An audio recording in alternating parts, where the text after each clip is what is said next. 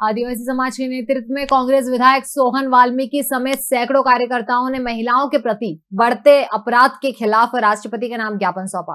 ज्ञापन में आदिवासी समाज ने महिलाओं के प्रति अत्याचार पर रोक लगाने की मांग की।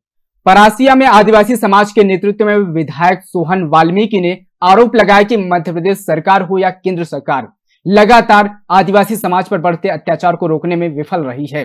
सीधी ज़िले में आदिवासी युवक पर पेशाब कांड और मणिपुर में जिस तरह महिलाओं को निर्वस्त्र करके घुमाया गया, ऐसे मामले में अपराधियों को फांसी की सजा मिलनी चाहिए। विधायक ने कहा कि सरकार ऐसे अपराधों पर रोक लगाए। में आज प्रदर्शन किया है और ये है और आने वाले समय में सरकार जगह आदिवासियों जो अत्याचार हुआ है, उन्हें रोक नहीं नहीं तो निश्चित रूप से पूरे मध्य प्रदेश में आदिवासी भाई जागेगा। और हम सब साथ में खड़े होकर ऐसे कृत्यों का दुराचारों का विरोध करेंगे, सीधे संघर्ष करेंगे और आने वाले समय में सरकार को बता देंगे कि आदिवासी अत्याचार करोगे, कोई आदिवासी भाई और हमें समाज बर्दाश्त नहीं करेगा, इसका परिणाम उनको भुगतना पड़ेगा।